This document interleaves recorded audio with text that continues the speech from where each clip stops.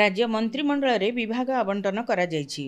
ମୁଖ୍ୟମନ୍ତ୍ରୀ ମୋହନ ଚରଣ ମାଝୀଙ୍କ ନିକଟରେ ଗୃହ ସାଧାରଣ ପ୍ରଶାସନ ଓ ସାଧାରଣ ଅଭିଯୋଗ ଅର୍ଥ ସୂଚନା ଓ ଲୋକସମ୍ପର୍କ ଜଳସମ୍ପଦ ଯୋଜନା ଓ ସଂଯୋଜନ ଏବଂ ବଣ୍ଟନ ହୋଇନଥିବା ଅନ୍ୟାନ୍ୟ ବିଭାଗଗୁଡ଼ିକ ରହିଛି। ଉପମୁଖ୍ୟମନ୍ତ୍ରୀ କନକବର୍ଦ୍ଧନ ସିଂଦେଓଙ୍କ ନିକଟରେ କୃଷି ଓ କୃଷକ ସଶକ୍ତିକରଣ ଶକ୍ତି ବିଭାଗ ରହିଛି। ସେହିପରି ଉପମୁଖ୍ୟମନ୍ତ୍ରୀ ପ୍ରଭାତୀ ପରିଡ଼ାଙ୍କ ନିକଟରେ ମହିଳା ଓ ଶିଶୁ ବିକାଶ ମିଶନ ଶକ୍ତି ଓ ପର୍ଯ୍ୟଟନ ବିଭାଗ ରହିଛି। କ୍ୟାବିନେଟ୍ ମନ୍ତ୍ରୀ ସୁରେଶ ପୂଜାରୀଙ୍କ ନିକଟରେ ରାଜସ୍ୱ ଓ ବିପର୍ଯ୍ୟୟ ପରିଚାଳନା ରବିନାରାୟଣ ନାୟକଙ୍କ ନିକଟରେ ଗ୍ରାମ୍ୟ ଉନ୍ନୟନ ପଞ୍ଚାୟତିରାଜ ଓ ପାନୀୟ ଜଳ ବିଭାଗ ରହିଛି। ସେହିପରି କ୍ୟାବିନେଟ୍ ମନ୍ତ୍ରୀ ନିତ୍ୟାନନ୍ଦ ଗଣ୍ଡଙ୍କ ନିକଟରେ ବିଦ୍ୟାଳୟ ଓ ଗଣଶିକ୍ଷା ଅନୁସୂଚିତ ଜନଜାତି ଓ ଅନୁସୂଚିତ ଜାତି ବିକାଶ ସଂଖ୍ୟାଲଘୁ ଏବଂ ପଛୁଆ ବର୍ଗ କଲ୍ୟାଣ ସାମାଜିକ ସୁରକ୍ଷା ଭିନ୍ନକ୍ଷମ ସଶକ୍ତିକରଣ କୃଷ୍ଣଚନ୍ଦ୍ର ପାତ୍ରଙ୍କ ନିକଟରେ ଖାଦ୍ୟ ଯୋଗାଣ ଖାଉଟି କଲ୍ୟାଣ ବିଜ୍ଞାନ ଓ କାରିଗରୀ ପୃଥ୍ୱୀରାଜ ହରିଚନ୍ଦନଙ୍କ ନିକଟରେ ଆଇନ ପୂର୍ତ୍ତ ଅବକାରୀ ବିଭାଗ ରହିଛି।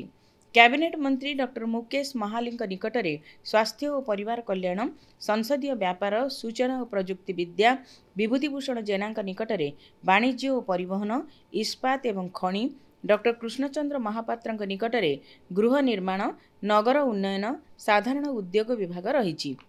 ଅନ୍ୟପକ୍ଷରେ ରାଷ୍ଟ୍ରମନ୍ତ୍ରୀ ଗଣେଶ ରାମ ସିଂ ଖୁଣ୍ଟିଆଙ୍କୁ ଜଙ୍ଗଲ ପରିବେଶ ଜଳବାୟୁ ପରିବର୍ତ୍ତନ ଶ୍ରମ କର୍ମଚାରୀ ଇଏସ୍ଆଇ ସୂର୍ଯ୍ୟବଂଶୀ ସୁରଜଙ୍କୁ ଉଚ୍ଚଶିକ୍ଷା କ୍ରୀଡ଼ା ଯୁବ ବ୍ୟାପାର ଓଡ଼ିଆ ଭାଷା ସାହିତ୍ୟ ଓ ସଂସ୍କୃତି ପ୍ରଦୀପ ବଳ ସାମନ୍ତଙ୍କୁ ସମବାୟ ହସ୍ତତନ୍ତ ବୟନ ଓ ହସ୍ତଶିଳ୍ପ ଗୋକୁଳାନନ୍ଦ ମଲ୍ଲିକଙ୍କୁ ମତ୍ସ୍ୟ ଓ ପଶୁ ସମ୍ପଦ ବିକାଶ ଏମ୍ଏସ୍ଏମ୍ଇ ଏବଂ ସମ୍ପଦ ଚନ୍ଦ୍ର ସ୍ୱାଇଁଙ୍କୁ ଶିଳ୍ପ ଦକ୍ଷତା ବିକାଶ ଓ ବୈଷୟିକ ଶିକ୍ଷା ବିଭାଗର ଦାୟିତ୍ୱ ଦିଆଯାଇଛି।